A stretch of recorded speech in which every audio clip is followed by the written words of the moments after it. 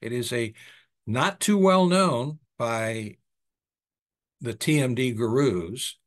but there are there there are some of us in this part of the, the TMD service that are well aware, and certainly our network providers are aware because we teach it. Arm, hand, finger tingling, and numbness is a valid, valid symptom of TMD, but it can be confused with carpal tunnel syndrome. And I have had several patients who have had their carpal tunnel operated on when it turned out the carpal tunnel operation did not fix their their numbness of their fingers, but when we made the inflammation in the joint go away by placing a patient in a disoccluding posterior device over a period of time protocol,